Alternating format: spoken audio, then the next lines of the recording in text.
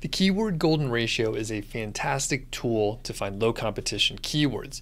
It can help you get traffic to your new niche site fast, but it's not all rainbows and unicorns, all right? Here are five things to consider when using the keyword golden ratio. You might consider them pitfalls. Number one is keyword stuffing.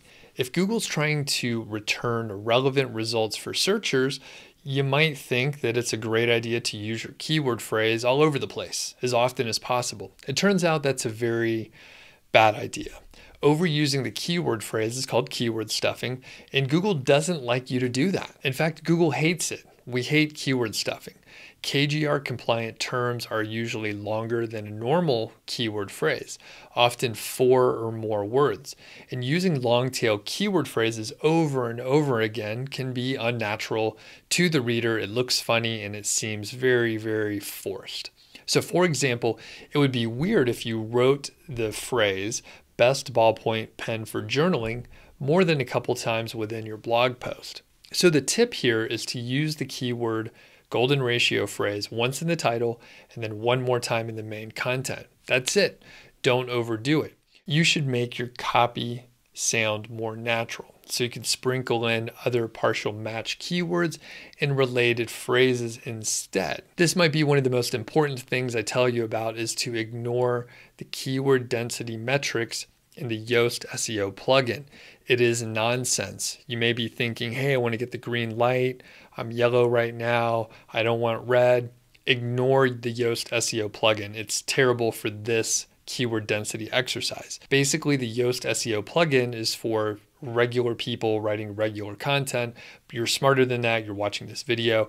And basically, the KGR is an advanced technique, and Yoast just doesn't take it into account. Number two, keywords that don't rank.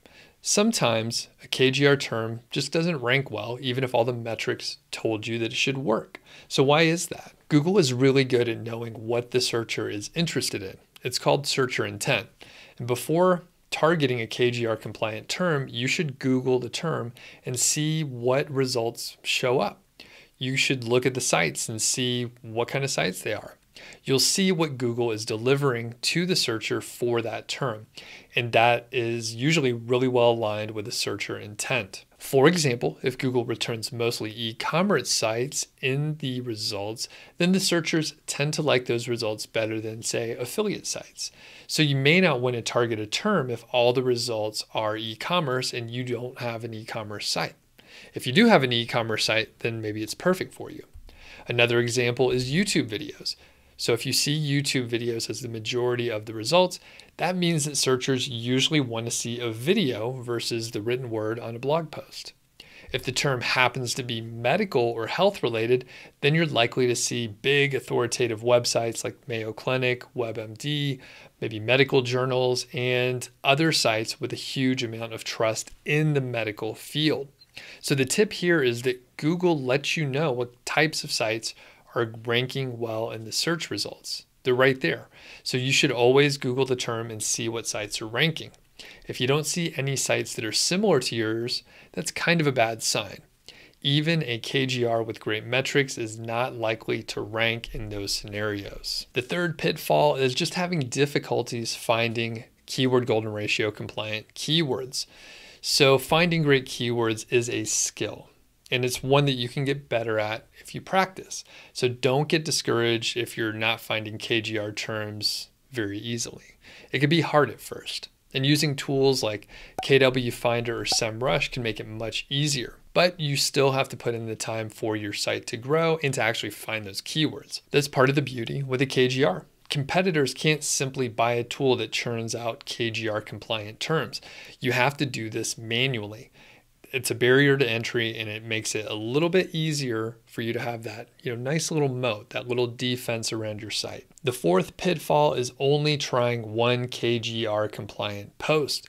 The kgr method works really well at scale and i suggest that you try at least 20 kgr terms on your site to begin with Historically, about 5% of the KGR terms perform better than expected, 15% are worse than expected, and about 80% rank somewhere in the top 30 to 50 results in a short time frame. We're talking 24 to 36 hours, maybe 48. give it a little bit of time. And the 80% tend to move higher in the rankings over time. Of course, it depends on the quality of the content, your site's overall authority, and the relative competition. All these things come into play.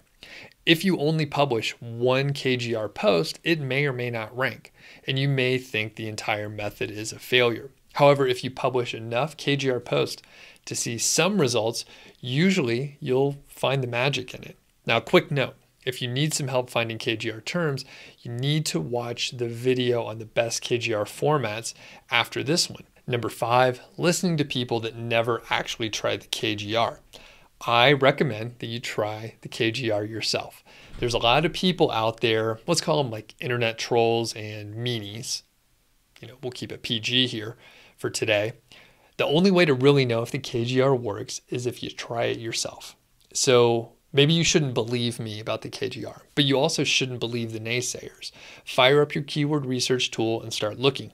The cost of trying is very low, so you don't want to miss out because someone said that can't work because they have some reason, like maybe keyword search volumes aren't accurate. So, how can you have a formula based on that, right? Kind of makes sense if you don't have accurate information, how can you use a formula? But the thing is, it actually works. It turns out I created the formula in a very aggressive way so that it actually doesn't matter what tool you use, it doesn't have to be perfect. It's a very aggressive formula. So it tends to work out, especially like I said before, if you publish 20 posts based on those keywords, then you should be in good shape. Actually, let's step away from keyword research for a second. You probably shouldn't just believe one person that tried something once, or maybe they never tried it and they're just talking about something that they think about hypothetically. You find a lot of this in, I would say, Reddit and perhaps Facebook groups where there's just a lot of people talking about something that are not actually practitioners. And I know it's very confusing. You may have someone say, hey, KGR won't work because search volumes don't mean anything. Meanwhile, you have 50 other people telling you that it worked for them and they're making money from it. So who would you believe?